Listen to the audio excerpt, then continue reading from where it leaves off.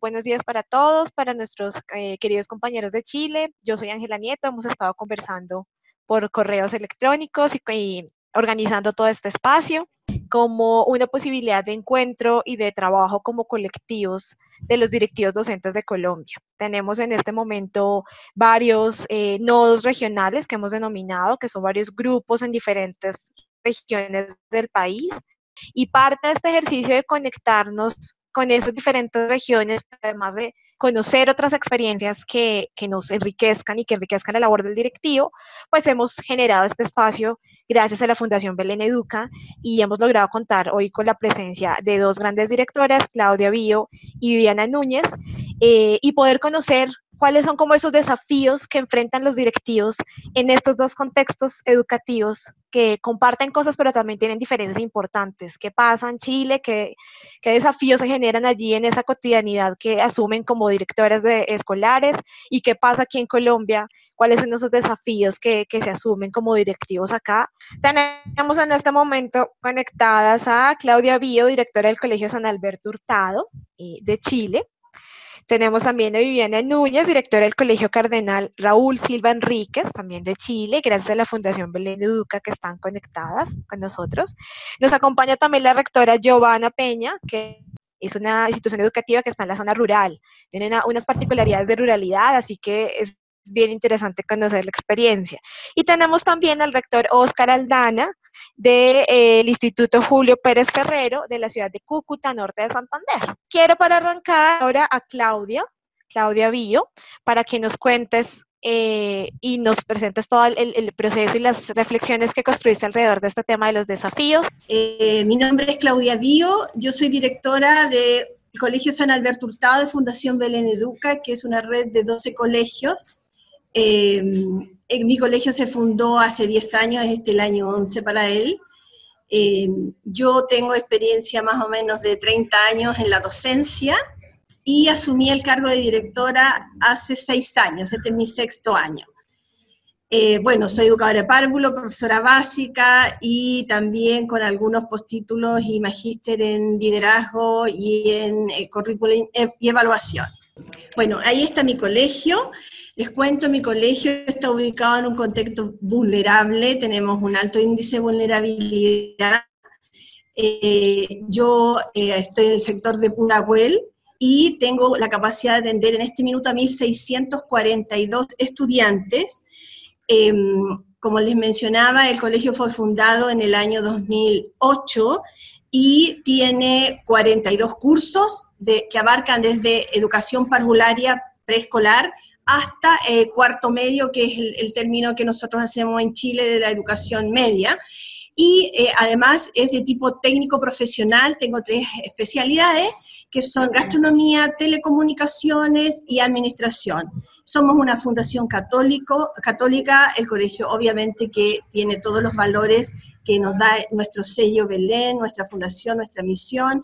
Por tanto, todas las mañanas, como eh, tenemos ya como cultura el orar, el rezar a la llegada de nuestros estudiantes. Tengo un equipo maravilloso de 165 personas que componen el equipo del Colegio San Alberto Hurtado, de los cuales son 115 docentes y aproximadamente 60 funcionarios del área administrativa, auxiliar de aseo, eh, asistentes de aula.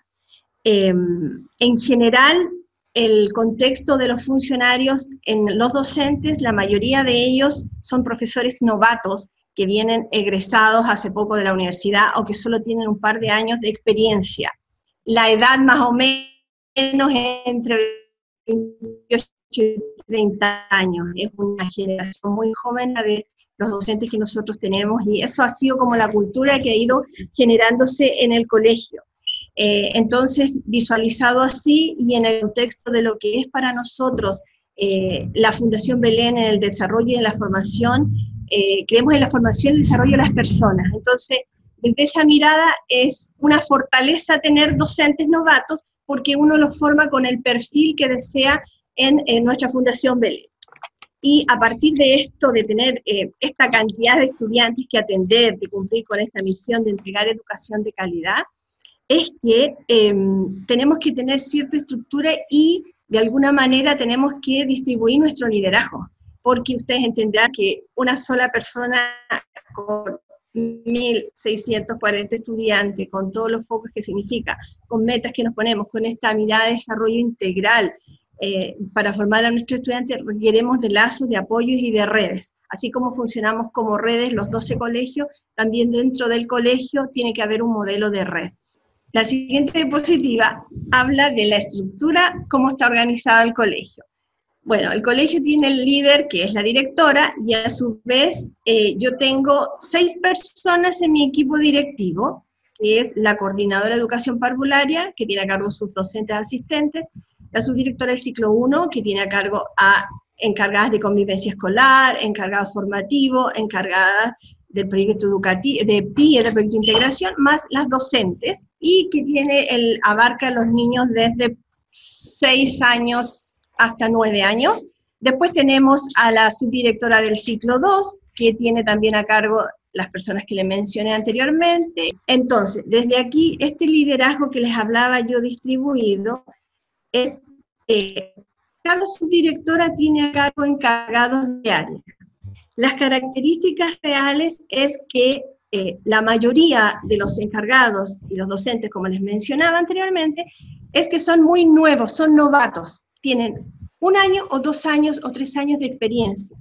Y a partir de eso tienen que cumplir un rol y una función de líderes, de equipos. ¿cierto? Para poder impactar en eh, el desarrollo integral y en el aprendizaje de nuestros estudiantes.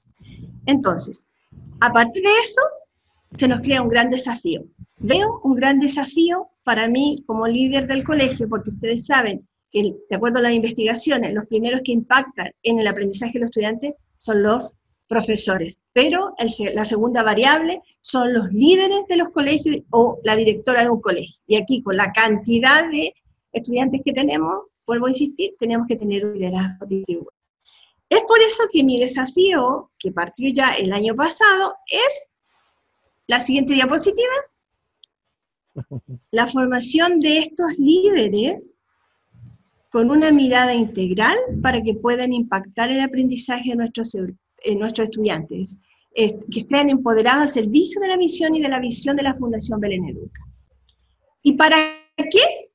¿Qué es lo que me interesa a mí de este desafío? ¿Qué podemos hacer? A partir de un diagnóstico que visualizamos y conversamos y reflexionamos con este equipo de líderes, que son aproximadamente 25, porque tenemos en cada ciclo líderes que se preocupan del área o visualizan el área de lenguaje, matemática, ciencia, eh, historia, inglés, el, el área formativa y el área de convivencia escolar. Entonces, ¿Qué visualizamos? Y de acuerdo a las reflexiones que tuvimos con ellos, que ellos, al cumplir el rol, les faltaban herramientas para poder efectivamente impactar en lo que ocurría con los docentes al interior del aula. Entonces, desde ahí visualizamos que queríamos un mayor impacto en las prácticas pedagógicas de los docentes. ¿Para qué? Para la mejora y el aprendizaje de todos los estudiantes pero siempre con un sustento en la mirada integral por el modelo pedagógico formativo que tenemos en Belén Educa. Entonces dijimos, ¿cómo lo vamos a hacer? Tomamos desde ellos también algunas sugerencias, pero como equipo directivo, porque no son decisiones que una sola toma como directora, hay un equipo detrás, un equipo directivo cercano, y visualizamos. Aquí tienen que haber dos campos de acción, dos ámbitos de acción para poder movilizar estos líderes y visualizamos que por un lado hay un ámbito técnico que tiene que ver con el modelo que estábamos trabajando, que es el modelo de las palancas, y darle fuerza dentro de ese modelo todo lo que tenga que ver con la observación y retroalimentación lo que ellos observan al interior del aula y cómo van a movilizar a sus docentes. Entonces, visualizamos que de ahí, bien es cierto, habían comenzado a tener herramientas pero necesitábamos una capacitación y una formación más sólida. Y el segundo ámbito de acción es que visualizamos que ellos iban a ser, que son líderes, pero tampoco tal vez les dábamos las herramientas para, para, visualizarse a ellos como líderes y para que ellos impactaran también como líderes a los equipos, porque ellos, cada uno de ellos al menos tiene cuatro o cinco docentes a su cargo. Por tanto, desde ahí uno tiene que visualizarse también como un líder incompleto. Y vimos que teníamos que ir a pedir alguna asesoría. Y es por eso que desde ese ámbito, desde el ámbito de el liderazgo, de la identidad de ser un líder, de competencias conversacionales, de habilidades blandas, visualizamos un aspecto de apoyo con un líder externo, con un coach externo. Y en este minuto, en ese proceso estamos.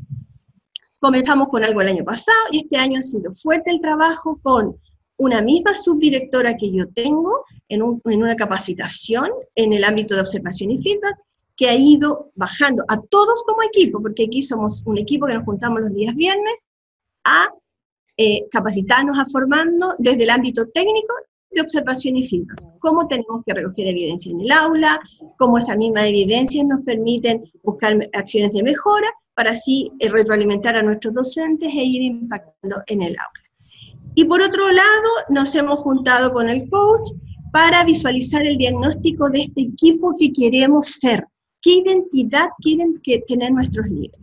Pero de alguna manera, cuando uno diseña o planifica un desafío, tiene que haber un proceso de seguimiento. Y es eso lo que estamos en este minuto haciendo, que es lo que viene en la siguiente diapositiva.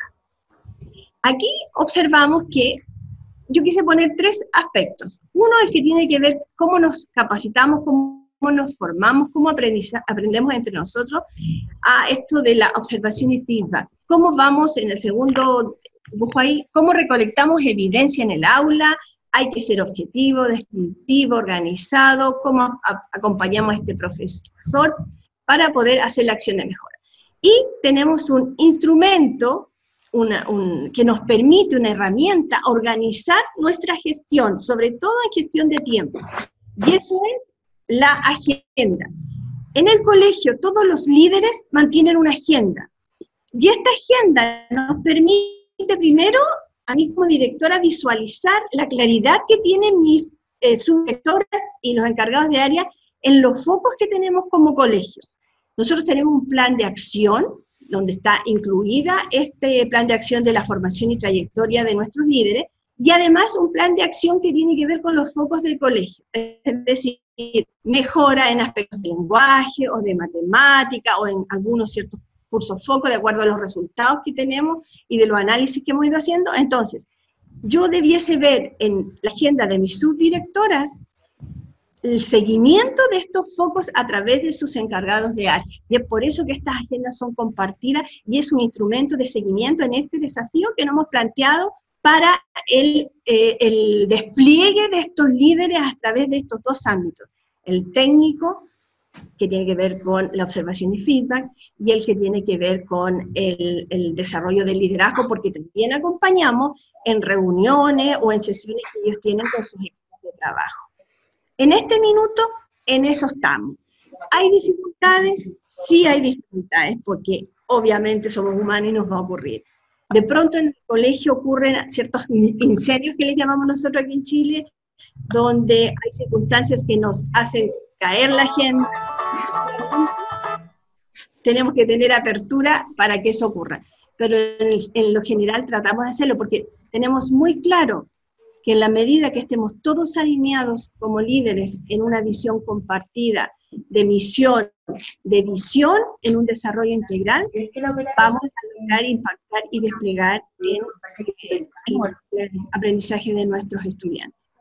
Y es por eso que en la última diapositiva hay expresado la creación de un lema, en la última, es un lema que nosotros como colegio instituimos este año, que también fue reflexionada, pensada y elegida por toda la comunidad educativa, que dice educar con calidad para la formación integral.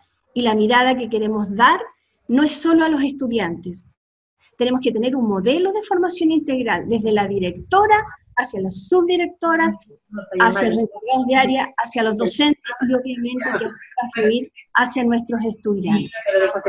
Creemos que tiene que haber una, un círculo virtuoso en estos procesos porque así es las metas que vamos a lograr. Es un gran desafío, no de este año, sino que viene desde el año pasado. Espero que sea una experiencia que podamos compartir entre todos. Muchas gracias. Eh, muy interesante la, la perspectiva y la manera en que funciona la dinámica de estructura propia de la institución. Ya vamos a ver y van a conocer un poco las diferencias y las realidades un poco de cómo sucede en Colombia y las dinámicas, eh, cómo son distintas eh, y los desafíos que genera. Pero interesante porque tienes un gran equipo, un amplio equipo que además estás formando en el liderazgo y eso es fundamental. estás construyendo equipo desde el liderazgo, desde el dar herramientas, desde la retroalimentación entonces nos parece muy poderosa más construyendo red al interior de la escuela. Entonces, interesante la, la, perspectiva para mirarla, cómo podemos alimentarnos desde allí para, para esas construcciones de redes regionales que estamos generando. Voy a darle la palabra entonces a Viviana, Viviana Núñez, directora del Colegio Cardenal Raúl Silva Enríquez, para que nos cuentes alrededor de tus desafíos. Buenos días, encantada de estar conectada, creo que es una instancia maravillosa eh, donde los líderes de colegio podemos compartir eh, aquellos desafíos que se presentan todos los días. Así que espero poder aportar y también aprender, porque esta es una oportunidad importante para que podamos eh, transmitir, conectarnos y compartir para poder enfrentar todos los desafíos que tenemos en estos tiempos. la estructura de mi colegio funciona muy similar a la presentación que tuvo recién Claudia Dío los colegios de Fundación Belén Educa tienen organizada una estructura que permite el acompañamiento eh, y la claridad para poder gestionar en un colegio. Em, pero también quiero mostrarles y comenzar eh, con un video para que puedan ver todo lo que mencionaba recién Claudia, pero qué va ocurriendo en el día a día en una comunidad tan grande, porque mi colegio también eh, tiene 1.665 estudiantes y me gustaría que pudieran compartir qué va pasando en el día a día con nuestros profesores.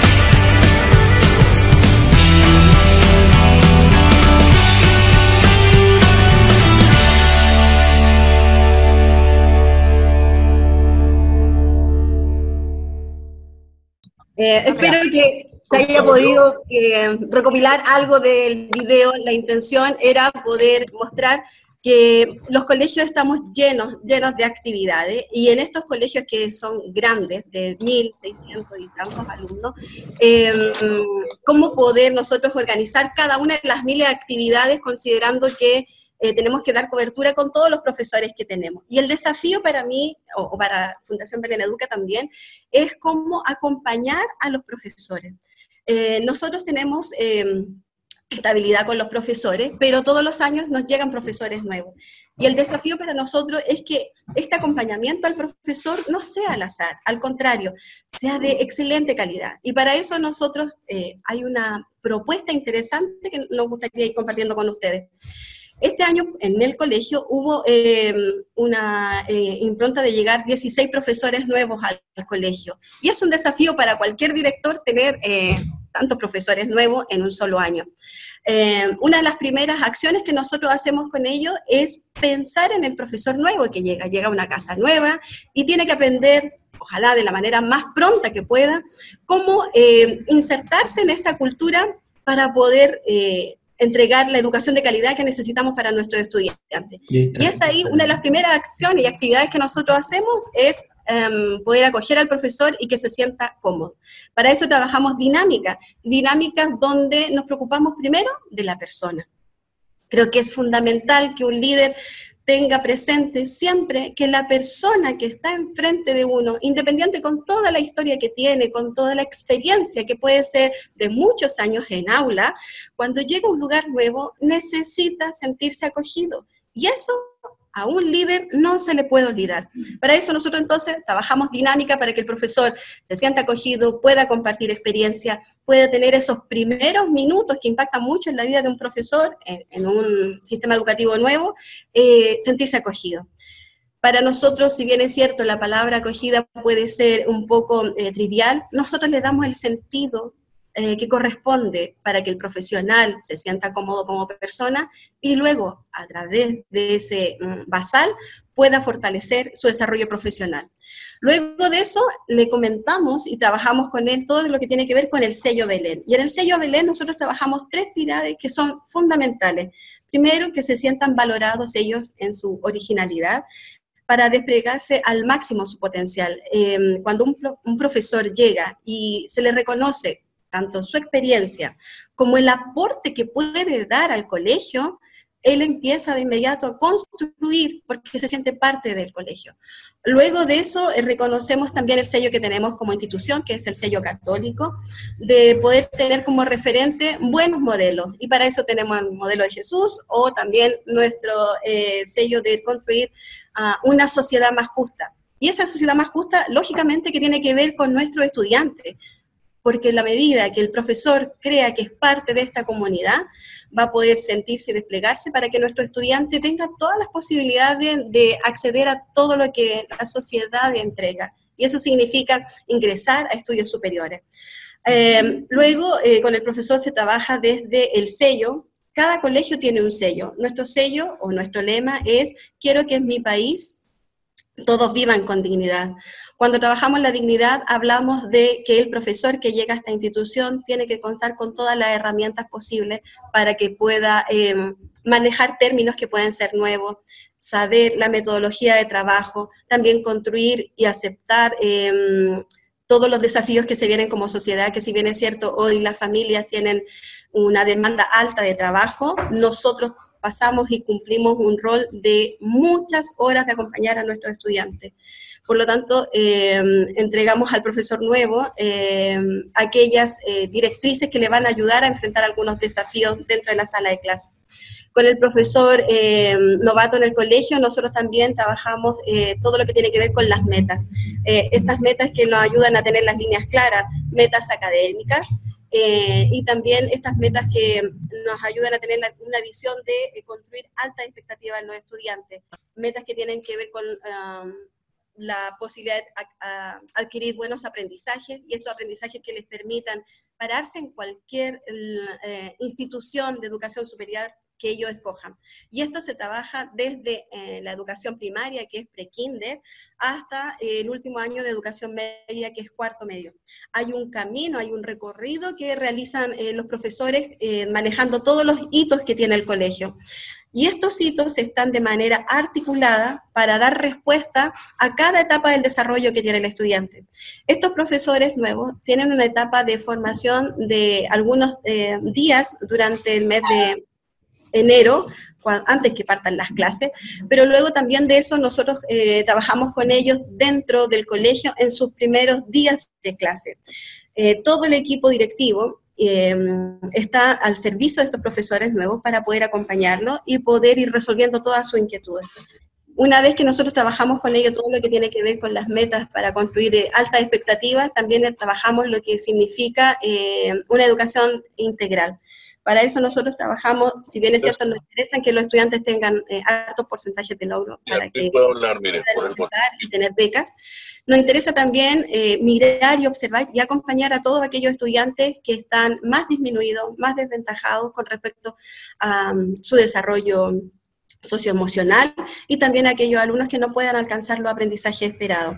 Son indicadores que a nosotros nos permiten ver la globalidad eh, y cómo va tomando el pulso el aprendizaje el estudiante. Eh, por otro lado, nos preocupan también o apuntamos a tener respuestas eh, de alto nivel para las pruebas estandarizadas, estas tanto de manera interna como de manera externa, aquellas pruebas que permitan tener un buen manejo también de idiomas, como Mover y Flyer, para algunos niveles específicos en la educación básica. En este recorrido para poder adquirir el ingreso a la educación superior, los profesores nuevos tienen la oportunidad de ser acompañados, como bien mencionaba Claudia, desde este acompañamiento para que en poco tiempo el profesor eh, pueda adquirir aquellas competencias que necesita. Para eso nosotros hacemos retroalimentación semanal o quincenal, eh, con el fin de que el estudiante pueda aprender y pueda desplegarse. Nosotros trabajamos mucho con los profesores desde el ámbito que está aprendiendo el estudiante, con análisis de datos con ellos eh, y cómo poder ver desde su práctica dónde está aquella cosa que lo hace fantástico para poder felicitarlo y acompañarlo y que se sienta cómodo en esa em, actividad que hace a diario, pero también cómo dejar alguna tarea pequeña, eh, breve, eh, donde él sienta las ganas y la capacidad de poder mejorar. Y esas son acciones de mejora que los profesores nuevos, bueno, y toda la, la cultura dentro del colegio sabemos que tenemos retroalimentación también poder mencionar que los profesores eh, tienen una trayectoria que se acompaña. Ellos tienen un periodo de ingreso, de, postulación y, de, ir practicando eh, en sus primeros meses, pero este acompañamiento dura por todo el tiempo que permanecen en nuestros colegios. Eh, independientemente de que sean profesores nuevos, el acompañamiento es siempre para, para todos los profesionales del establecimiento. Y en este periodo de aprendizaje del profesor es nuevo, eh, también eh, nosotros vemos toda la parte eh, administrativa que ayuda mucho para poder ellos saber desde dónde, qué necesitan mantener, como liquidaciones de sueldo, beneficios que presenta la institución, y con eso, como se fijan, hay una articulación potente, un programa que permite que el, profesión, el profesional, ya sea nuevo, o el profesional que recién viene ingresando a la institución tenga cubierta todas las eh, posibles inquietudes o necesidades que si uno las deja al azar, eh, pueden jugar en contra a la hora de, que el profesor se sienta cómodo. Un poco para poder em, cerrar la idea, el líder de un colegio debe siempre tener presente que aquellos profesores que recién ingresan a la institución, debe haber un programa establecido, claro, para que sea acogido, se sienta acompañado y también tenga un desarrollo profesional que lo permita eh, sentirse grato y gusto trabajando en el lugar que él escoge. Em, muy interesante el trabajo que hacen con maestros y, y, ese desafío enorme que creo que también en Colombia se da de la llegada de tantos maestros nuevos a un espacio de... Eh, poder vincularnos en la dinámica de una institución educativa, en reconocer los procesos que están adelantando y lo que dice al final me parece vital, en cómo tenemos un programa estructurado para dar la bienvenida y la acogida a estos maestros y atenderlos y acompañarlos en todo lo que implica su desarrollo profesional y laboral, desde lo pedagógico hasta lo administrativo.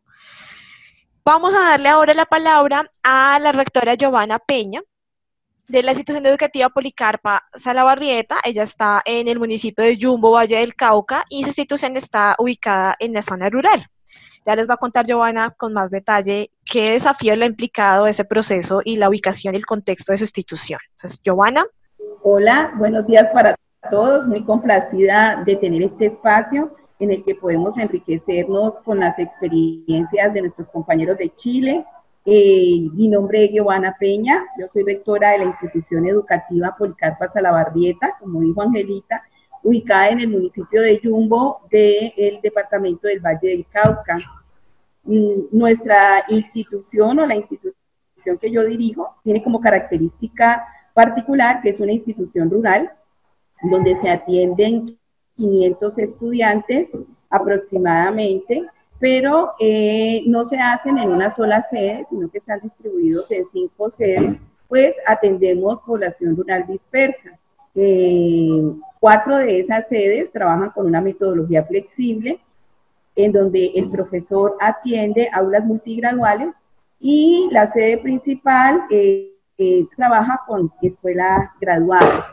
Para nosotros las condiciones muy diferentes a las de las compañeras de Chile. Colombia, eh, por las características de su territorialidad, eh, las instituciones atienden la población eh, distribuidas en, en, sedes y sedes principales.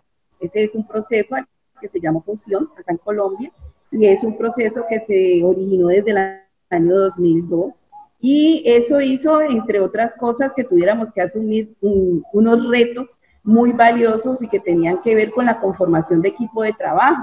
A diferencia de nuestros compañeros, eh, cuando llegamos a las instituciones, los equipos ya estaban conformados y, y pues em, son compañeros con mucha experiencia algunos y otros que se van lentamente vinculando desde eh, los concursos que se hacen a través de la meritocracia, es decir, los mejores puntajes son los que se van ubicando en cada uno de los concursos docentes. Pues el directivo en Colombia responde por muchos más procesos que el proceso pedagógico. También responde por los resultados de las pruebas estandarizadas. Responde también por la planeación, por la supervisión y por la evaluación de los docentes y administrativos docentes a su cargo. También eh, responde por la contratación, por la rendición de cuentas, por la participación de la comunidad en el proyecto educativo, además del alcance pues, eh, de las metas que se proponen anualmente a través de los planes de mejoramiento y además, eh, pues con todo eso, tiene la responsabilidad de mantener el optimismo, pues para garantizar la prestación de un servicio educativo de calidad. Eh, yo he tenido la oportunidad y en eso pues eh, de trabajar, llevo 30 años vinculada al sector de educación pública, de los cuales 14 eh, y medio en este ejercicio de, como directiva. en Colombia se llaman rectores.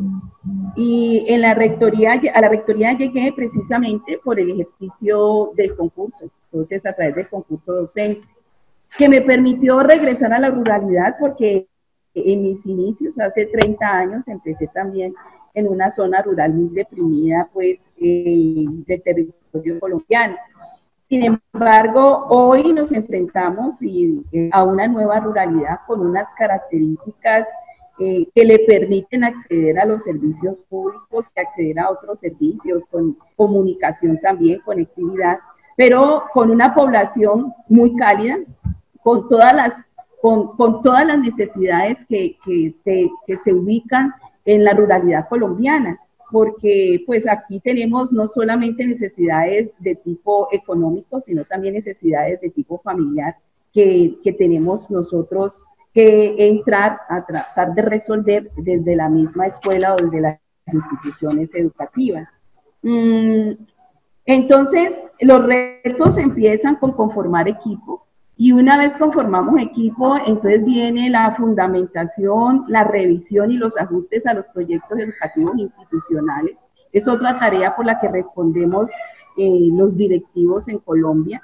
El proyecto educativo entonces permite que se identifiquen todas esas características de la institución educativa y que se determine la misión, la visión y todas aquellas políticas que dirigen nuestro quehacer y que como todo proceso de formación eh, permite también eh, formar hombres íntegros porque la educación pues debe generar ese en, en todas las dimensiones del ser humano. Una vez, eh, digamos, conformamos esos, ese proyecto educativo y hacemos la revisión, viene otro espacio que tiene que ver con la fundamentación curricular y la revisión de los planes de estudio. Nosotros tenemos que ofertar una educación acorde a las características del contexto y nuestros contextos son muy variados. Colombia es un territorio con 32 departamentos, pero con características muy diferentes cada uno de los territorios. Estamos observando, por ejemplo, fotografías de la sede principal y de otra de las sedes eh, eh, de las que conforman a la Policarpa Salabarrieta y nosotros vemos que estar en contacto con la ruralidad pues permite que nuestros estudiantes tengan unas características que no son iguales a los de los chicos de las zonas urbanas. Sin embargo, los propósitos y las responsabilidades de los directivos en Colombia son las mismas. No importa eh, la población que atiendan, no importa el número de, directivos que posea. Por ejemplo, en Colombia nosotros tenemos la figura del coordinador y una institución con cinco sedes como la que yo dirijo nomás tiene un coordinador, mientras que eh, hay instituciones que atienden 1.500, 2.000, 2.500 estudiantes y tienen apenas dos o tres también coordinadores, cuatro en el, mejor de los casos, que sirven de nexo entre esos profesores, esos estudiantes y la gestión directiva. Otro de los retos que asumimos permanentemente tiene que ver precisamente con, con esa, esa perspectiva que tenemos nosotros de brindarle a nuestros estudiantes la posibilidad de la formación técnica. Entonces tiene que ver con la direccionalidad que le damos a las medias técnicas, porque nuestros estudiantes pues salen eh, con una titulación eh, adicional a la titulación normal académica que se generan en instituciones de ese tipo. Ese fue otro de los retos. Cuando llegamos a la Policarpa, eh, teníamos una especialidad que no por ser rurales tiene que ser necesariamente. Nosotros éramos eh, agropecuarios, pero como ustedes ven, nosotros tenemos unas limitaciones de espacio bastante reducidas y hacer prácticas agropecuarias donde no hay tierra y donde no se puede hacer levante de animales era bastante complicado. Eso entonces permitió que hiciéramos una revisión del contexto que miráramos las características de la población que atendíamos, que reconociéramos ese acervo cultural de nuestra comunidad, eh, donde teníamos chicos que venían de otros territorios y de otros departamentos del país, o, si no venían ellos, venían sus padres con esas características de esas regiones. Y eh, se hizo una revisión que llegó a que pudiésemos ofertar otra nueva especialidad y hoy en día nuestros chicos se gradúan como bachilleres agroindustriales. Adicionalmente vino todo el proceso y fue un reto más que nos toca enfrentar en Colombia y es hacer la articulación de estos colegios, de nuestras instituciones educativas con la educación terciaria o la educación superior. Para el caso nuestro, articulamos con el SENA, que es el Servicio Nacional de Aprendizaje, de manera tal que nuestros los chicos al terminar su formación de educación media también se puedan titular como técnicos, en el caso de la Policarpa Salabarrieta, técnicos en agroindustria alimentaria. Y eso también es un reto porque con todas las, las, las limitaciones que tenemos de presupuesto, de infraestructura, incluso las limitaciones de talento humano, pues hemos desarrollado unas iniciativas eh, aprovechando la transferencia curricular que nos da el SENA, de manera tal que nuestros chicos al terminar su formación de educación media, pues también eh, obtienen el título de técnicos a través del de, Servicio Nacional de Aprendizaje. Esto, un desafío más, porque la idea es que ellos continúen su proceso y puedan articularse y para ello se forman algo que en Colombia hemos denominado cadenas de formación para que nuestros chicos puedan continuar su formación y llegar hasta la educación tecnológica. Eh, de manera que dos años más de formación les permite graduarse posteriormente como tecnólogos. Para el caso nuestro, tecnólogos en agroindustria alimentaria.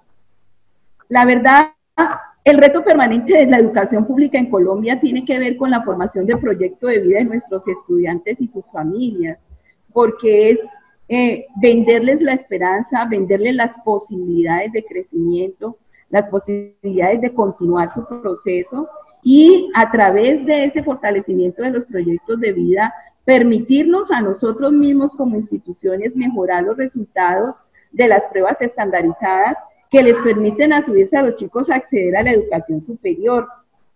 Además eh, de, de vender la iniciativa de lo que es el emprendimiento y la creación de nuevas posibilidades, porque nosotros tenemos un territorio con muchas, con muchas limitaciones, pero también con una fortaleza y de la calidad humana y de la idea de, de emprender que tienen eh, nuestros habitantes y que merece ser atendida. La verdad es que todavía son muchos los retos por superar, ¿no? Eh, los retos de infraestructura, las infraestructuras, si las comparamos con nuestras compañeras de Chile, pues eh, hay diferencias bastante grandes. Mm, los retos de financiación, cada vez en Colombia existe un sistema de gratuidad, pero cada vez es más reducido el presupuesto con el que contamos eh, los retos de hacer el trabajo de contratación y gestión administrativa con tan poco personal y, y sin el debido acompañamiento muchas veces. Entonces, mm, la realidad es que permanentemente, cada día es un desafío.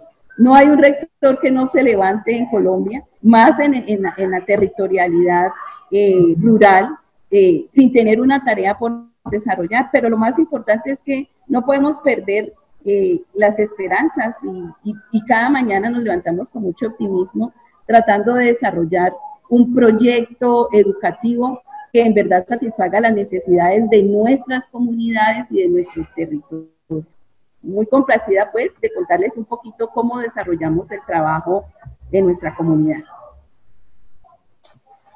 Giovanna, muchas gracias. Eh, como ven ustedes compañeras de Chile, las dinámicas y las diferencias y los retos que genera además una institución en el, en el ámbito rural eh, y también las posibilidades que se pueden gestar allí, los desafíos que genera, pero también todas las posibilidades, opciones eh, que en este caso Giovanna ha generado y construido con su comunidad para responder a esa particularidad del contexto. Voy a darle el paso ahora a Óscar Aldana, eh, él es rector del Instituto Julio Pérez Ferrero en la ciudad de Cúcuta, norte de Santander, eh, que nos va a contar también los desafíos que se generan allí en ese espacio y como la experiencia que han tenido también en ese trabajo un poco en red que han empezado a gestar. Entonces, Oscar, adelante, bienvenido.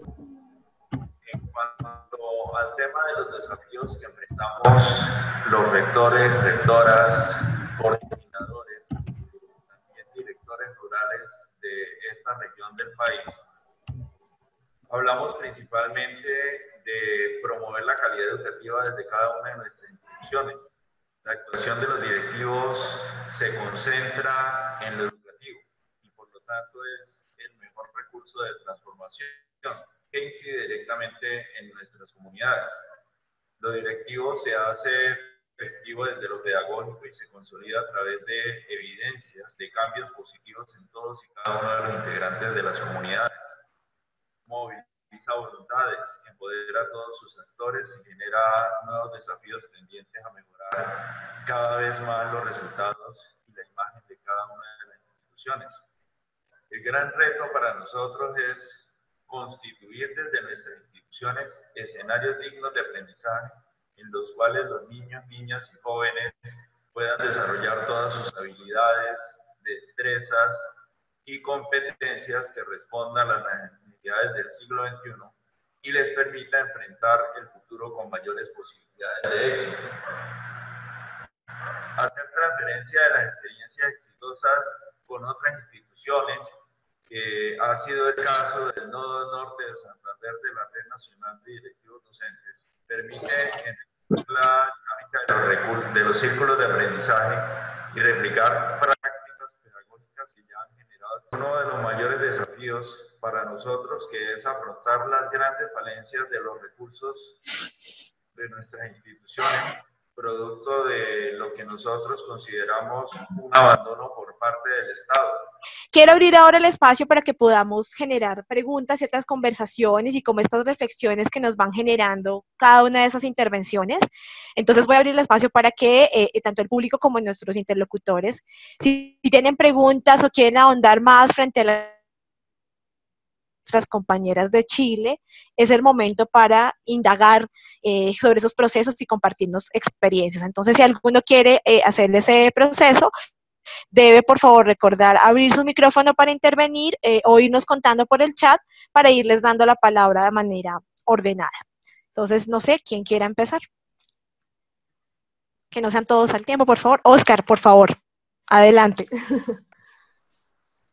Sí, me surge, me surge una pregunta sobre lo que planteaba Claudia al inicio. Ella decía que trabajaban en tres momentos. El qué, era el impacto, el para qué, que era la y el cómo, que eran los dos ámbitos de acción. No sé, Claudia, si los mencionaste. La pregunta es cuáles son esos dos ámbitos de acción en el cómo.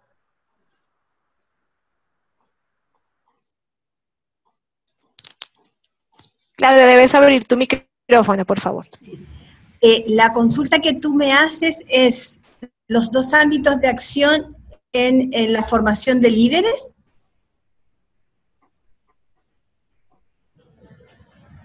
Señora, esos dos. Sí, mira, un ámbito va en, el, en relación a las competencias técnicas en este caso tiene que ver con todas las observaciones y feedback que los docentes, o sea, que los encargados de área deben hacer al interior del aula.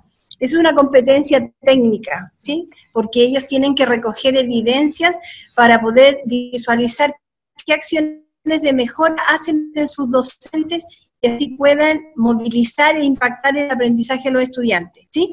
Dentro de ese ámbito técnico tomamos la observación y feedback, porque podríamos haber tomado otras, pero tomamos solo esa para focalizarnos en eso. Y dentro del ámbito de lo que tiene que ver con el desarrollo del liderazgo en ellos, estamos visualizando el cómo se sienten ellos como líderes y cuál es la identidad que quieren tener como líderes. Y desde ahí nos estamos apoyando con un coach que está trabajando las competencias conversacionales, esos ámbitos. Listo, gracias Claudia. Interesante para el trabajo que se hace en la red desde esas dos miradas. Buenísimo. ¿Alguien más quiere generar preguntas a nuestras compañeras de Chile, ampliar en su experiencia en los procesos? ¿Te están adelantando? Levanten la mano.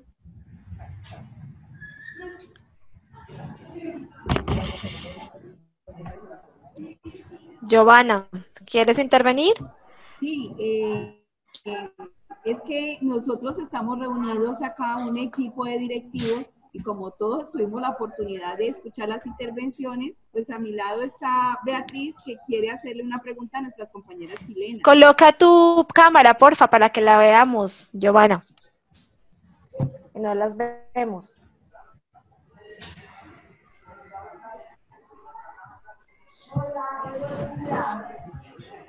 Hola. Hola. Hola. Hola, Beatriz. Buenos días, ¿cómo están? Yo le quiero preguntar a las compañeras de Chile, ¿cómo hacen para manejar la parte disciplinaria? Escuchamos que tienen un director, tienen subdirectores de la parte académica, pero no escuchamos eh, cómo manejan la parte disciplinaria y me gustaría saber eso. Gracias. Y la parte de convivencia, gracias. Bueno, la parte de convivencia escolar es un gran desafío. y así como escuchamos a nuestros compañeros de Colombia, para nosotros también es eh, necesario poder estar a la altura de, lo que pide o, demanda hoy la sociedad. Efectivamente, dentro de la estructura que, tenemos como red, em, tenemos encargados de convivencia escolar, gracias a Dios. porque efectivamente el primer responsable eh, siempre es eh, dentro de la sala el profesor, ¿ya? Pero necesita sí o sí tener un equipo que pueda acompañar desde la convivencia escolar. Cuando hay algunas situaciones em, que amerita el acompañamiento del encargado de convivencia escolar, el profesor jefe o el profesor de asignatura deriva a este eh, rol del encargado de convivencia escolar, en el cual se designe por un protocolo de acción.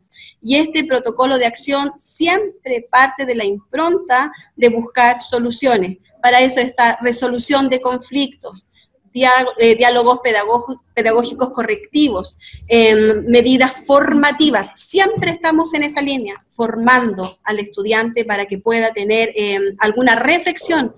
Y luego de eso, eh, hacemos también un trabajo con la familia cualquier situación que amerite, se invita también a la familia que se haga responsable de la situación disciplinar que está teniendo el estudiante. Eh, se acompaña todo el proceso. De hecho, una de nuestras premisas como Fundación Belén Educa es mm, que los estudiantes no deserten del sistema.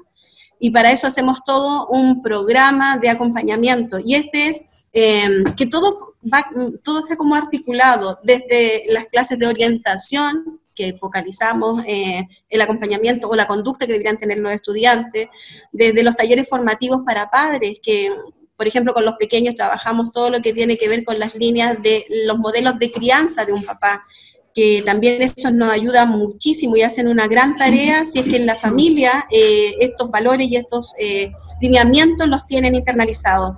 pero así todo también tenemos hartos desafíos, ¿ya? es, una, es una dinámica... Solo agregar que eh, en Chile, yo creo que hace dos, tres dos años más o menos, antes del tercer año, que partimos con la ley de inclusión. Y eso hizo potenciar muy fuerte el área de convivencia escolar.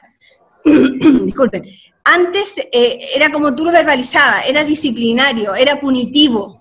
Desde que partió esta ley de inclusión, se visualiza el justo derecho de cada estudiante.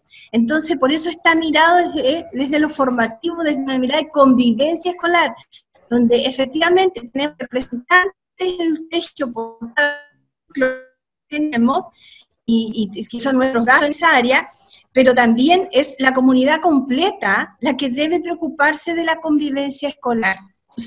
Todos estamos mirando la convivencia escolar, desde cómo recibimos a nuestros estudiantes en la puerta todas las mañanas, desde cómo interactúan y cómo se vinculan los docentes, desde cómo potenciamos y gestionamos el buen trato, que también es dificultoso a veces con los apoderados, que yo creo que a ustedes también les pasa, pero también a, desde fortaleza, ayudado a esta ley de inclusión de ver cómo lo hacemos, porque está muy normado, pero también lo vemos desde el otro extremo, que también nos ha amarrado las manos en algunos casos de situaciones extremas que tenemos que esperar mucho tiempo para poder en algún caso tomar remediales. Ah, tampoco escuchó.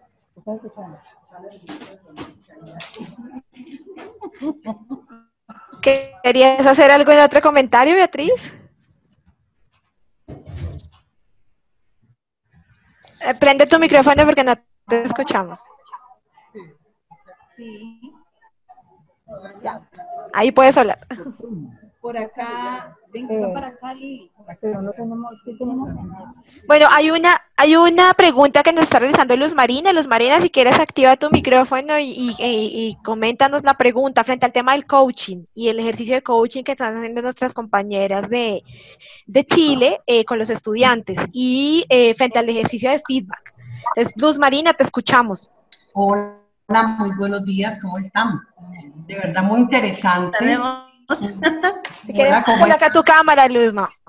Mi cámara. te veamos. Abajo donde está la cámara, das a activar video, ya te vemos. Ya, bueno. Eh, nuevamente, muy buenos días para todos.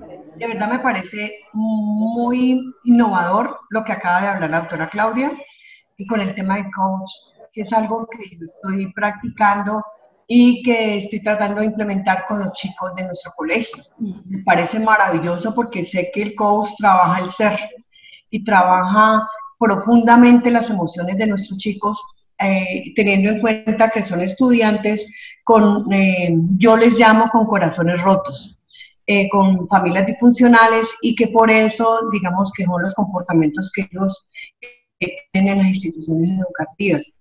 Me gusta muchísimo cuando la doctora Claudia habla de, que se realiza coaching con los estudiantes y trabajan el feedback. El feedback tiene que tener una madurez muy, muy, muy alta para recibir esa retroalimentación.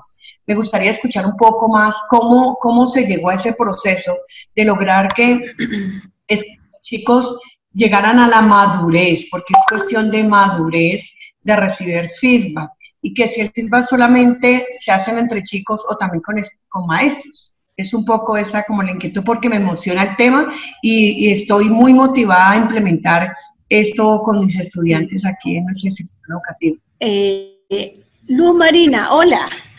Oye, te cuento, mira, lo que tiene que ver con el coach, nosotros lo estamos haciendo con los líderes, estamos en ese nivel. Solo con los líderes estamos empezando a empoderarnos en ese nivel. Eh, con los que hacemos con los docentes en relación al feedback, es lo que hacen los líderes, los encargados de área que nosotros llamamos aquí, le hacen eh, feedback o retroalimentación a los docentes de acuerdo a las prácticas pedagógicas que observan y a las acciones de mejora. Es una cultura que en nuestra fundación tenemos instalada ya hace muchos años.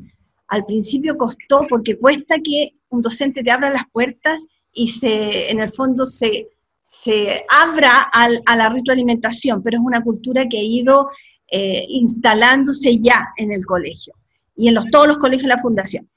Pero, ¿qué podría asociarte con los estudiantes que yo creo que estamos en proceso eh, al instalar este modelo de las palancas de liderazgo? Es que cada vez, que, voy a separarlo en dos ámbitos, en lo pedagógico y en lo formativo.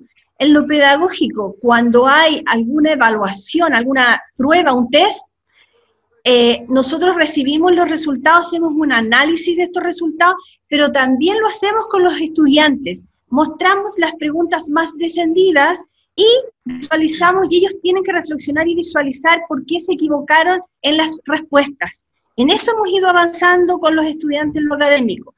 Y en lo formativo, hacemos mediación en cuanto a la reflexión cuando y las encargadas de convivencia son las que están acá de mediaciones. Esto podría adelantarte en relación a los estudiantes coaching, pero lo fuerte está siendo en los líderes y los docentes al retroalimentar los encargados de área en lo que ven y observan en las prácticas. Pues la verdad, yo lo reconozco, lo reconozco porque me parece que una práctica que, es, que va más allá, va a crear conciencia de responsabilidad, de reconocerse a sí mismos como responsables de su proceso y no dejárselos a otros. Es que es por culpa del profesor o por culpa de la mamá o por culpa de todo el mundo. Me parece, yo les pido una opinión a ustedes, dado que ustedes tienen ya la experiencia. Nosotros iniciamos un proceso en tres colegios que le hemos llamado el Triángulo de la Paz porque quedamos, que es nuestro colegio Alberto Mendoza Mayor, el Colegio Mayor y la José María Córdoba, y empezamos un trabajo de coach con los líderes, con nuestros consejos. Hicimos el primer encuentro de consejos estudiantiles, de personales y de contralores, y llevamos un coach y se trabajó esa parte, fue maravilloso. Muy, muy, muy motivante porque, porque además de que quedaron los chicos muy, con muchas ganas de más, más, más, como dicen ellos, queremos más, pero yo, yo, ¿cuál es mi pregunta? Mi opinión, quiero la, la, la opinión de ustedes. Yo, en mi colegio, que tengo una zona bastante difícil y compleja. Quiero trabajar es con los chicos que tienen dificultades de, comportamiento, o sea, me quiero enfocar solo con ellos. Los líderes, sí, muy chévere, me parece excelente, pero siento que ellos tienen lo que falta aquellos chicos que tienen el corazón roto, como yo les llamo. Y yo quiero enfocarme con ellos.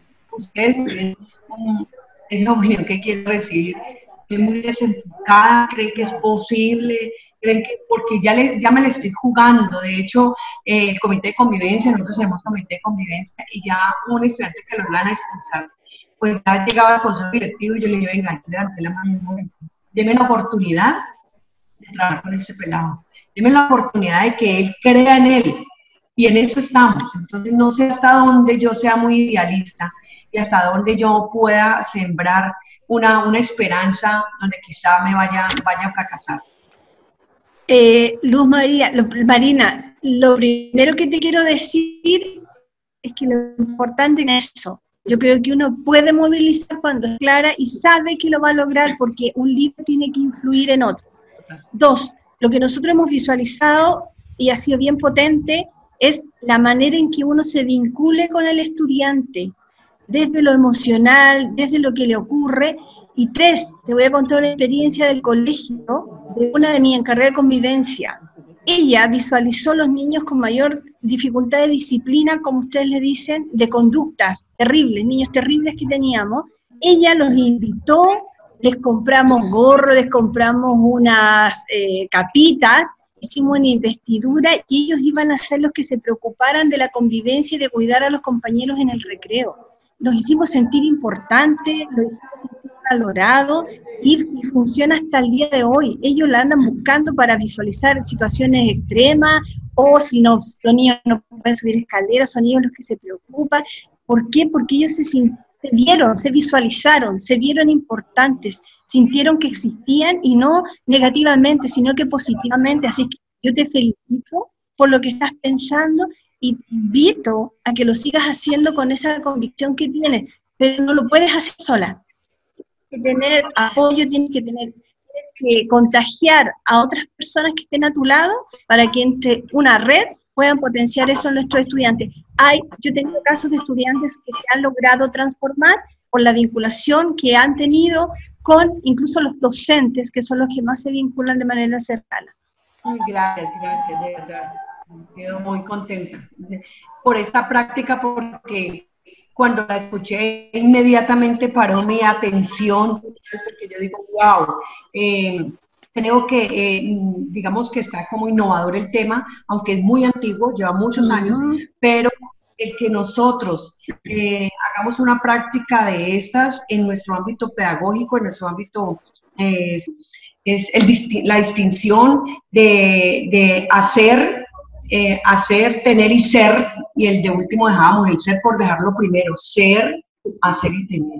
El tener sea lo último. De verdad, yo sí soy, estoy apasionada, estoy convencida que se puede hacer y escuchándolas a ustedes, la felicito, la reconozco y muy, contenta por escucharnos. Gracias. Gracias, Luz Marina, y gracias a Claudia y, y, Viviana por compartir esa experiencia. Creo que es un elemento vital a tener en cuenta dentro de estos múltiples desafíos. Eh, creo que todos coincidimos en que ese elemento central que nos convoca y nos mueve como directivos eh, son esos sujetos, esos seres humanos que tenemos al lado, no solamente los estudiantes que son centro de nuestro trabajo, espacio, sino también esos maestros, también esos administrativos, también esos eh, sujetos y seres con los que trabajamos y que también eh, se pueden formar y trabajar y, por supuesto que impactan de una manera distinta cuando se les reconoce en sus procesos y en las comunidades. Aquí Lorena les está mandando muchas felicitaciones a Claudia y Viviana por toda la labor que realizan, por estos procesos tan interesantes que están adelantando. Y mm. quiero abrirle espacio para que ustedes para hacerle preguntas a nuestros directivos acá en Colombia. Como escucharon, bueno, estamos en Norte Santander, hay otras personas conectadas en otras partes del país, hay un gran grupo allí en Jumbo, está también en, en, en, Valle del Cauca, hay un gran grupo eh, aprovechando que están trabajando también en red, que están allí reunidos y están también dispuestos a, a escucharlas y recibir sus comentarios y preguntas. Eh, a mí me gustaría saber cómo es el trabajo específico con los apoderados, con las familias cómo juegan el rol de acompañar a los estudiantes eh, en esta sociedad que hoy día necesita de alguna manera eh, o dejan instaladas las competencias en la escuela, siendo que el primer rol que tiene que tener es la familia de poder acompañarlo. Entonces, desde políticas públicas, eh, ¿hay alguna intencionalidad de, de, que el apoderado esté presente? Y por otro lado, ¿cómo el colegio hace que los padres tengan una participación? ¿Existirán talleres? Eh, cómo, ayudan, tienen algún protagonismo importante los papás eh, en el proceso de, acompañar a los estudiantes en el colegio? Bueno, ¿quién quiere dar respuesta a este espacio? Eh, pero eh, me quedé sin video. ¿Me escucha? Sí, te escuchamos, no hay problema, Oscar. Ok, sí, indudablemente hay algo que se llama el gobierno escolar y en el gobierno escolar eh, participan activamente padres de familia. El rector actúa eh, un colectivo que se llama el Consejo Directivo. El directivo está dos representantes de los docentes, un representante de los estudiantes, un representante de los egresados, un representante del sector productivo y dos padres de familia. Asimismo, se forma un colectivo llamado el Consejo de Padres.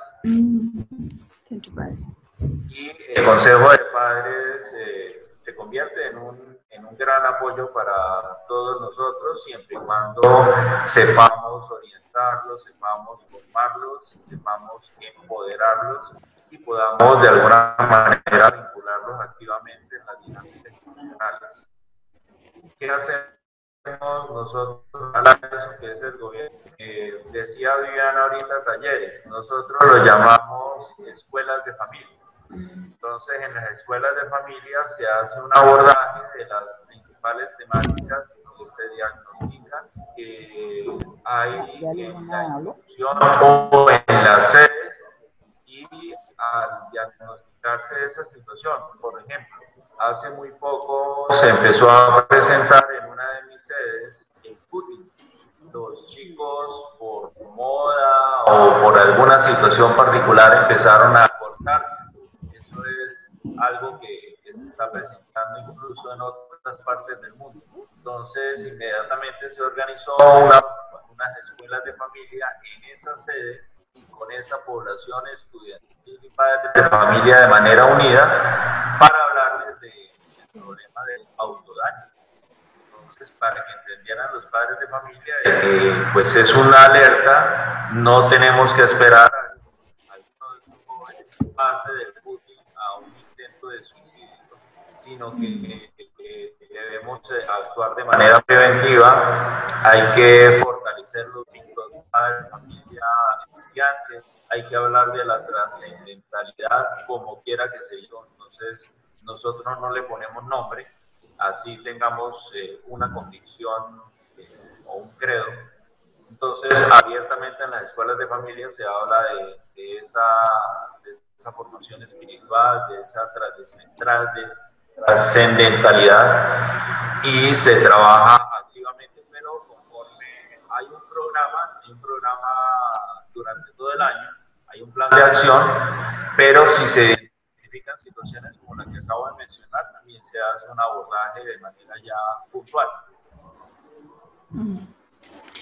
Perfecto. Eh, dale, Claudia me gustaría eh, felicitar a Giovanna por el trabajo que ha hecho en su sector, por las innovaciones que ha comenzado a hacer, por la mirada de la continuidad de estudios de los estudiantes.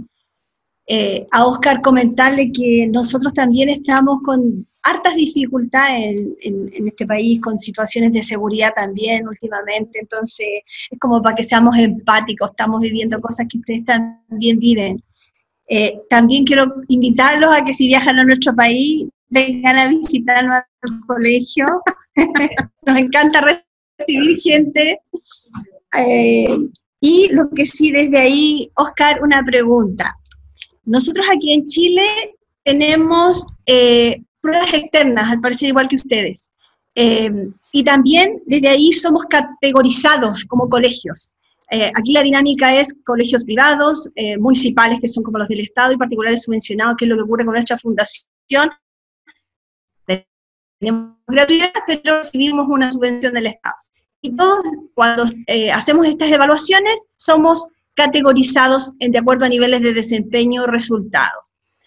Quisiera preguntarte, frente a todas estas adversidades que tú mencionas, tanta carga administrativa, situaciones de inseguridad, de infraestructura. ¿Cómo hacen eh, con los aprendizajes los estudiantes y si también tienen evaluaciones de este tipo estandarizadas que los miden y los categorizan a todos por igual? Sí, claro que sí. También tenemos unas pruebas estandarizadas. Quería antes de... La realiza el Instituto Colombiano para el Fomento de la Educación Superior. Esas pruebas se realizan en varios niveles. Está la prueba de tercero, la prueba de quinto, que son primaria, la prueba de noveno grado, que ya es terminando la básica secundaria. Tenemos la prueba Saber 11, que es la que de manera general. Según esos resultados de las pruebas Saber 11, que es el último grado que nosotros prestamos, se nos categoriza el nivel A más a, B, C y ahí sigue bajando hasta la D. Eh, mi institución está, eh, gracias a los resultados de un proceso que hemos venido mejorando, pasamos de la D a la C, de la C a la B, que fue el año pasado, y este año estamos esperanzados en subir a nivel A. Eh, como tú bien lo mencionaste, los textos son muy fuertes, es muy complejo obtener esos resultados, pero como nuestra esencia es lo pedagógico, en el caso de la institución, definimos apostarle a un modelo pedagógico y a un enfoque. Hace cuatro años nos identificamos con el enfoque pedagógico de enseñanza para la comprensión y al orientarnos desde la enseñanza para la comprensión, eh, logramos mejorar aunque todavía falta mucho, logramos mejorar la comprensión lectora de nuestros estudiantes. Las pruebas del Estado eh, se focalizan mucho en esas habilidades lectoras y pues la tasa de, de lectura de Colombia es muy baja. O sea, si, si comparamos eh, Argentina, si comparamos Chile a Colombia, el nivel de lectura que se observa en Colombia y más en los jóvenes es tremendamente baja. Entonces estamos apostando a eso. Eh, estamos apostando a, a, la incidencia de lo pedagógico en cada una de las áreas hemos participado activamente en los foros educativos municipales, eh, logrando muy buenos resultados y llevando experiencias eh, por parte de muchas instituciones de acá de Norte de Santander a, a Bogotá, a la capital.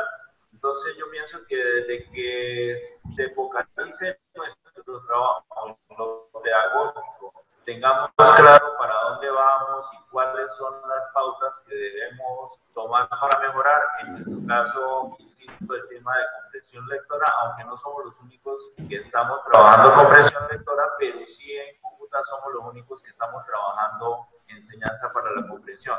Pienso que esa es la clave y como lo dije en mi intervención inicial, contar con maestros maravillosos que se las ingenian en medio de las necesidades y de las falencias y contar con la innovación pedagógica de, cada una de las aulas en todos los niveles. Y definitivamente sí tengo ganas de ir a Chile y también las invitamos que nos visiten en Colombia y con los brazos abiertos acá en Computador de Santander. Muchas gracias. Gracias. Levante la mano, yo.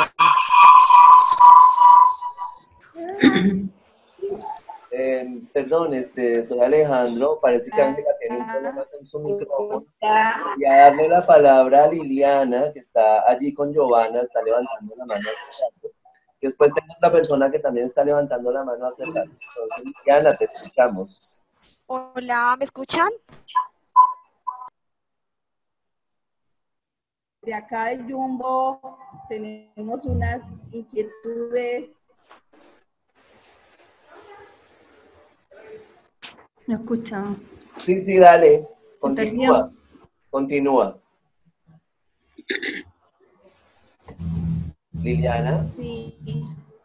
Lo que pasa es que pe- perdimos la conexión visual con las compañeras de Chile, entonces no sabemos si están ahí todavía. Sí, todas las personas siguen Desde acá conectadas. también tienen algunas inquietudes para plantearles. Ellas siguen ahí conectadas, entonces adelante. Sí. Eh, hola, muy buenos días. Un saludo muy especial para nuestras colegas en Chile. Mi nombre es Liliana Ramírez Varela y soy la rectora de la institución educativa Titán en el municipio de Yumbo. Eh, tengo una pregunta eh, y es, ¿es creciente la población de necesidades educativas específicas en nuestro territorio? Eh, ¿Cómo atienden ellas, a través de qué programas atienden ellas este tipo de población? Eh, si tienen unos equipos interdisciplinarios, eh, ¿cómo manejan este tema a nivel de institución? Eh, sí, hola, buenos días. Nosotros contamos con un proyecto de integración precioso. Eh, eh, es multidisciplinario, eh, todas las familias que acceden a nuestros colegios tienen la posibilidad de poder tener la postulación y la oportunidad de que sean atendidos por este equipo multidisciplinario. Atendemos realmente todas las necesidades educativas, ya tenemos algunos diagnósticos eh, que son permanentes y, y- y complejos de ingresar o insertar al sistema educativo tradicional. Y también tenemos algunos diagnósticos que son transitorios. Esto eh, a nivel de gobierno también se nos hace una línea directriz muy eh, fuerte, lo que nos ayuda a estar bien orientados y, y tener la cobertura para poder atenderlo. Sin embargo, eh, los colegios eh, nuestros, eh, cada día eh, tenemos eh, un desafío mayor que es poder efectivamente entregar la, la educación de calidad y eso significa ser muy honestos, ¿ya? Porque si bien es cierto, todos los que estamos en educación tenemos la convicción de que todos de- tienen el derecho a tener una educación de calidad. Sin embargo, dentro de, la, de nuestras aulas, eh, hoy con todos los recursos que tenemos, así todo, no, nos damos abasto también para para poder eh, atender en los desafíos que hoy tenemos. Por ejemplo, en mi colegio eh, tengo estudiantes eh, con eh, síndrome de Down y se nos hace un desafío mm, importante para poder acompañar al estudiante, para que adquiera las, las herramientas mínimas o básicas para poder inser- insertarse dentro del curso eh, y también acompañar a la familia en este proceso. Nuestro ideal es que estos estudiantes tengan las mismas oportunidades Y para eso nosotros tenemos que instalar eh, todas aquellas nociones básicas que ellos necesitan, pero también ir eh, de alguna manera desplegándolos. Y eso significa que ellos pueden tener, y así todos los estudiantes, continuar su estudio en la educación superior, estamos eh, gozosos de eso.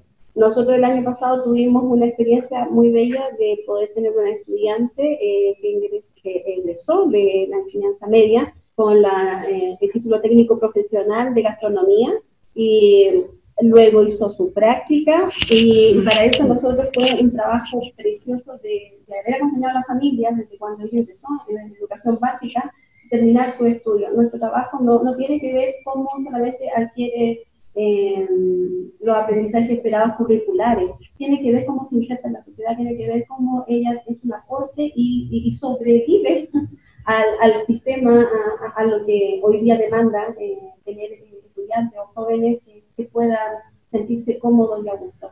Eh, el trabajo de, de, de, programa de integración tiene que ver tanto con el área eh, emocional los psicólogos hacen un hermoso trabajo para poder acompañar a estudiantes. Eh, también tenemos terapeutas, eh, tenemos fonoaudiólogos, eh, educadores diferenciales, y, y, todo eso está al servicio, y, todo eso está al servicio de eh, apoyar al profesor.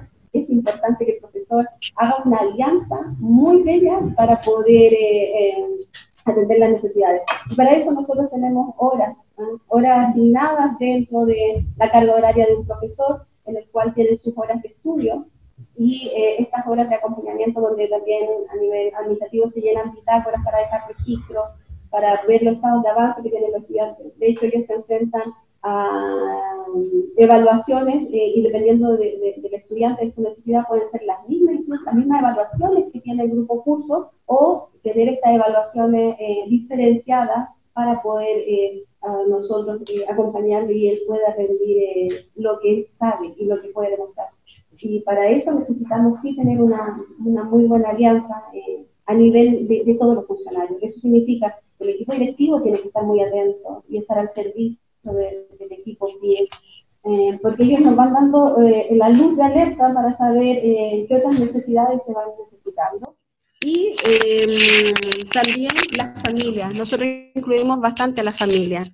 Eh, incluimos a las familias para poder em, eh, hacer talleres con ellos, compartir experiencias, porque muchas veces los diagnósticos son complejos, la cobertura de salud a nivel nacional tampoco es buena. Entonces nos tenemos que buscar redes, y no solamente redes a nivel de colegio, tenemos red con consultorios, que son el centro de salud primaria, y muchas veces eh, también las extendemos a los hospitales para poder tener atención con psiquiatras.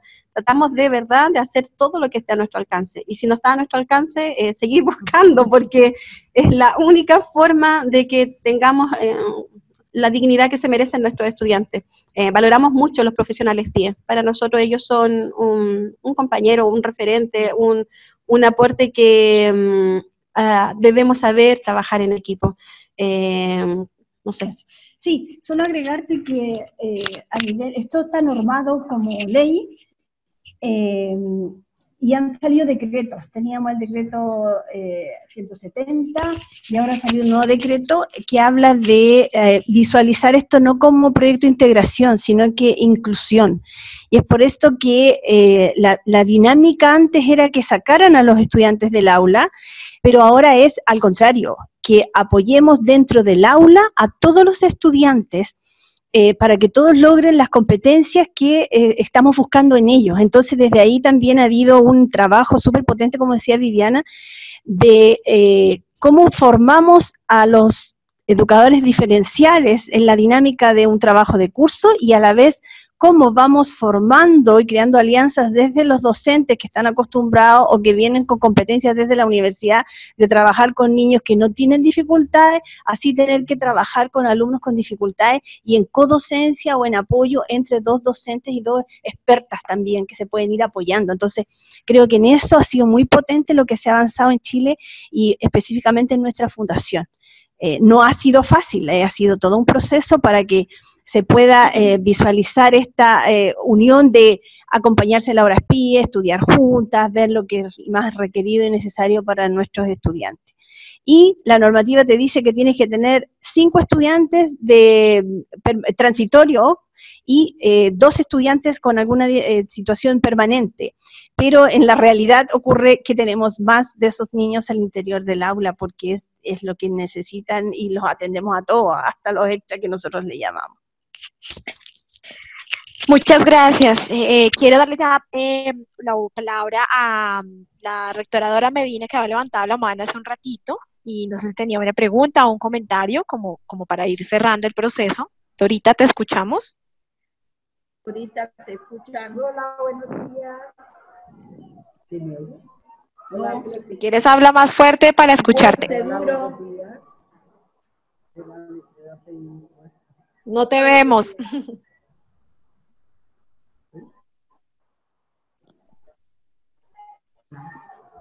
Comenta, Dorita, ¿qué querías eh, preguntar o comentar? una pregunta sobre las niveles de repitencia estudiantes. no, no se escucha. Escuchamos.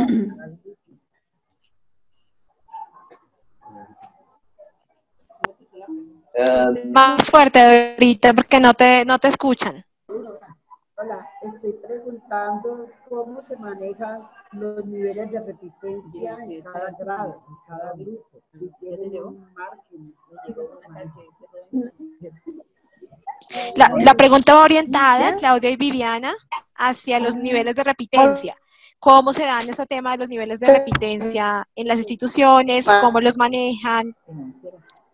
Bueno, es una muy buena pregunta, como todas las otras. Eh, nosotros dentro de todas nuestras líneas de acción eh, tenemos como nuestra postura de, eh, de tener el 0% de cantidad de repitencia. Y para eso nosotros hacemos un trabajo de clase a clase, por ejemplo, de manera muy concreta, nosotros cada vez que terminamos una mm, clase de 45 minutos o de 90 minutos, hacemos tickets de salida.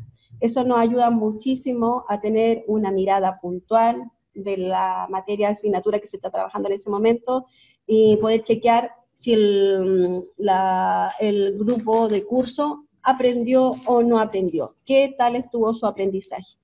Eh, se realiza el ticket de salida de una manera muy breve, puede ser una evaluación incluso escrita en la pizarra y, a mano alzada hacer la, la respuesta, eh, la profesora tiene que terminar sabiendo que en su clase cuántos alumnos aprendieron el contenido, la materia o la habilidad. Con ese insumo, la profesora a la clase siguiente se debe presentar con dos objetivos. Uno, volver a, repasar con los estudiantes aquello que no se pudo lograr o ver desde dónde se tiene que parar para seguir avanzando en lo que tiene planificado y programado en su planificación. Eso es como una herramienta crucial que a nosotros nos ha ayudado mucho a poder detenernos y no seguir avanzando en el currículum porque hay que cumplir a nivel de gobierno. Esta herramienta ha sido crucial para que nosotros, los profesores, los encargados de área, tomen medidas y podamos tener eh, lo que nosotros llamamos análisis de datos. El análisis de datos a nosotros nos ayuda, si bien es cierto, como mencionaba antes Claudia, nosotros hacemos análisis de datos con todas las pruebas, las pruebas de unidad, las pruebas estandarizadas, eh, nos sentamos a hacer reuniones académicas eh, entre cargados de área, profesores, la subdirección, analizamos mucho los datos, pero creo que es crucial poder ser siempre previsores y anticiparnos. De hecho, nosotros comenzamos las clases en el periodo de marzo y en abril ya estamos hablando de posibles repitentes. Nosotros visualizamos a los posibles estudiantes que ya tengan alguna condición de repitencia, que no alcancen una buena evaluación, algún registro, una, nota dura.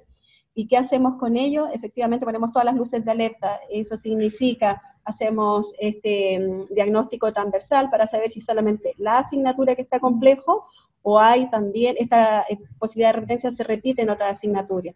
Si es así, eh, de inmediato tomamos o talleres o remediales para que mm, el niño pueda sí o sí adquirir lo que le corresponde y ojalá en el periodo más corto. Por eso creo que así como receta puntual es detenerse. Y detenerse, si es masivo, si es el curso, se detiene con el curso.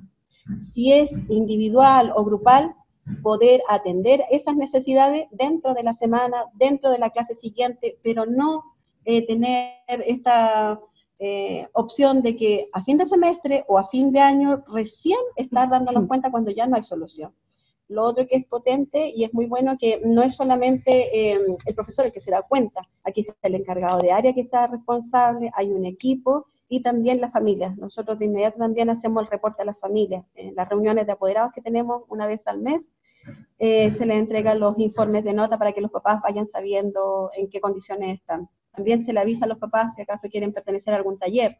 Y esto en todas las áreas, eh, en lenguaje, en matemática, incluso eh, también en inglés, que ahí el idioma también es una, una meta para nosotros importante. un alumno que pueda tener una segunda lengua le abre muchas oportunidades. Entonces, creemos firmemente que es importante poder detenerse clase a clase y para eso nosotros elaboramos tickets de salida. Es, eh, como dice Viviana, es la detección temprana de los niños que no están aprendiendo.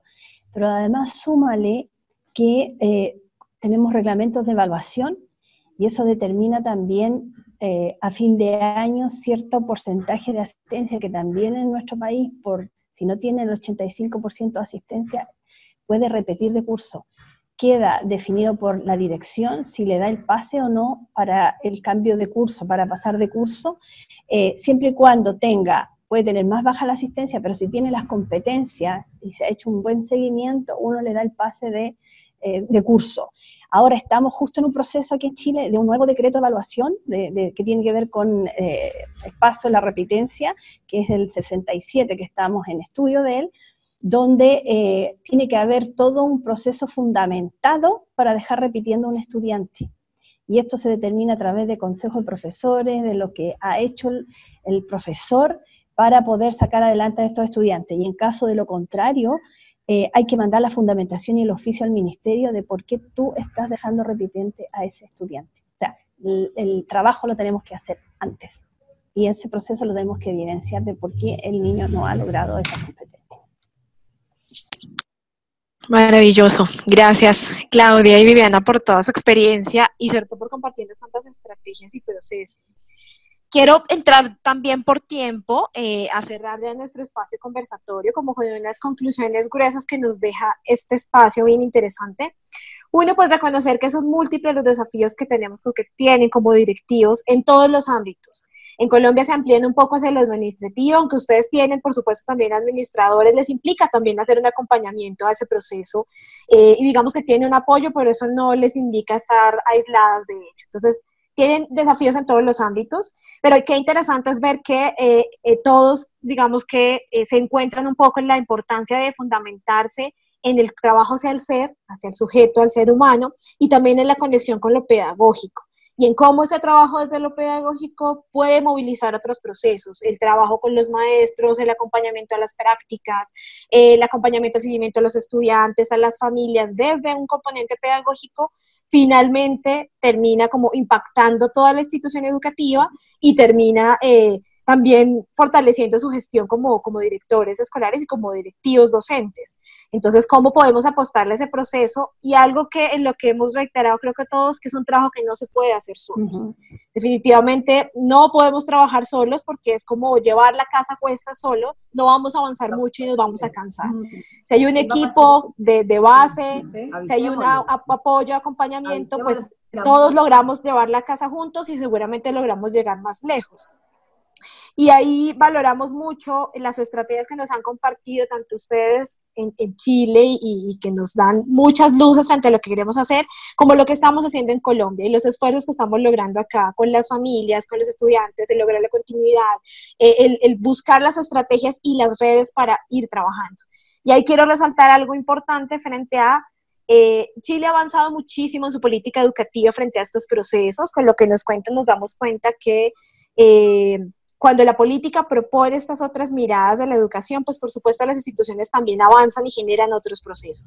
Y creo que allí hay una apuesta importante en que este trabajo que estamos empezando a hacer en red como directivos docentes en Colombia puede ser una oportunidad para que esa política pública reconozca estas comprensiones de la educación y finalmente nos, nos permita desarrollar esas estrategias, realmente dé la posibilidad y abra los caminos para que las instituciones tengan estas otras miradas frente, eh, por ejemplo, al manejo de la convivencia, frente al tema de repitencia, frente al cómo mantener un estudiante escolarizado y no excluido del sistema educativo con todas las dificultades que pueda tener, etcétera, etcétera. Entonces, cómo este trabajo en red que estamos generando, motivando, en el que todos estos directivos que ustedes han escuchado y que tenemos acá tienen una potencia enorme y un interés por lograr, cómo podemos desde ahí ser gestores de política y lograr que esta política pública en Colombia avance a estas otras miradas y nos permita transitar y avanzar.